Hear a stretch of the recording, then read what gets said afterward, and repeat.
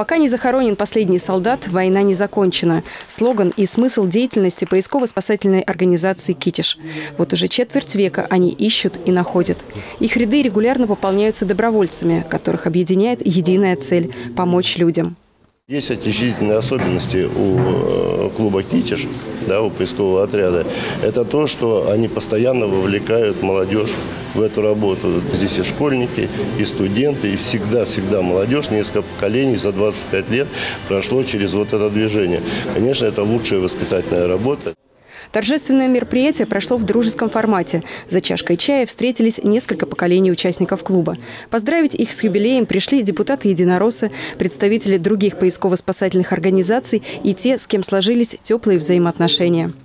Благодарная работа, благодарный труд каждого э, воина, которого вы находите, его душа, как говорят, витает где-то, а если отыскали его медальон, установили его фамилию, то это, вы знаете, какую пользу принесли для, в общем-то, не то, что для семьи, близких родственников, а в целом для нашего народа и в целом для страны. Первое и самое важное, на что обращает внимание руководство клуба – военно-патриотическое воспитание молодого поколения и пропаганда здорового образа жизни. Уже с 12 лет подростки активно принимают участие в деятельности организации, выезжают на сборы, участвуют в поисково-спасательных мероприятиях.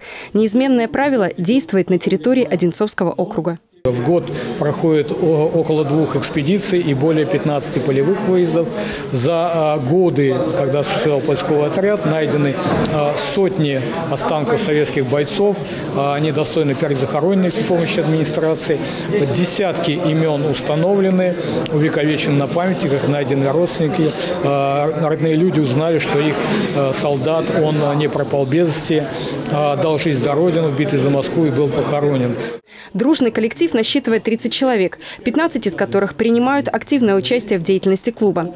За 25 лет успешной работы было реализовано несколько военно-мемориальных проектов. Среди них создание электронной книги памяти и каталога воинских памятников и мемориалов Одинцовского округа. Человек умирает два раза. Первый раз физически, а второй раз, когда о нем умирает память. И вот эта вот, вот работа, она направлена именно на сохранение памяти, на э, то, чтобы, как говорится, никто не забыт, ничто не забыт. Арсению Слюнько 14 лет. Он состоит в клубе уже год. За это время научился разбивать палаточный лагерь, ориентироваться на местности и, самое главное, вести раскопки. Ситуации на выезде бывают разные. С ребятами работают опытные наставники и психолог. Прямо около лагеря, эм, под вышкой ЛЭП, э, в 10 метрах от первого дома деревни, э, мной был выкопан второй шурф, э, в котором были обнаружены человеческие останки.